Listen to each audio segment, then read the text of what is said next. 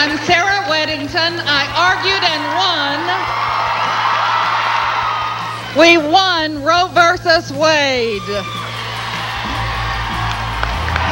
We call it Roe versus Wade, but what we really won was the right to make our own decisions. We won the right of our privacy.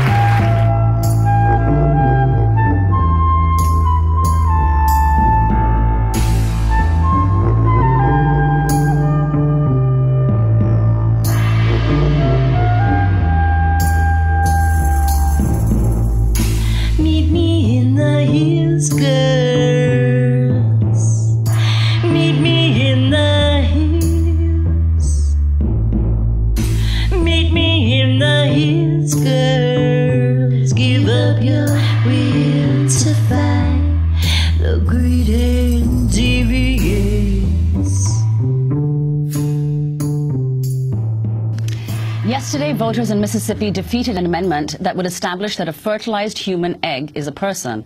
The so-called Personhood Initiative was rejected by more than 55% of voters, falling far short of the threshold needed for it to be enacted. Amendment 26 is a scientific and moral issue, not a political one. It's a moral issue because it doesn't matter if you come from a family that's rich or poor, black or white, or even if your father was a rapist. These people are saying eggs are people with the same rights and privileges that you and I have. It's absolutely insane. When you let university administrators or other employers, rather than women and their doctors, dictate whose medical needs are legitimate and whose are not, a woman's health takes a backseat to a bureaucracy focused on policing her body. We are forcing, forcing women, forcing them to undergo an ultrasound that they have not asked for, nor has a doctor recommended to them. I'm done. No more sarcastic photos, no more emails, no more phone calls. We are women, and we are strong and beautiful, and we are the backbone of civilization. Men do not own us, they are not in charge of us, and we will not allow them to minimize us, or demean us, or murder us. We don't have to live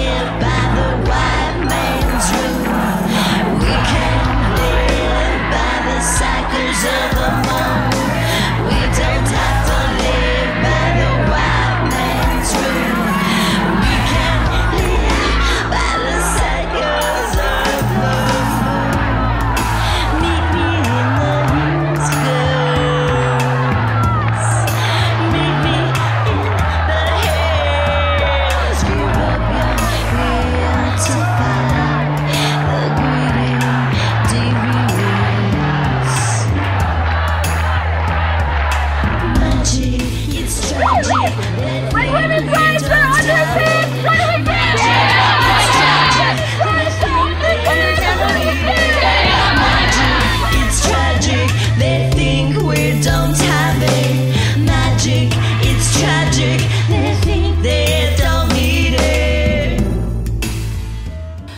Due to some things happening um, in my home state of Virginia um, and many other states, mind-blowing things um, that are happening, um, I will be marching on the Capitol on April 28th, 2012 for women's rights.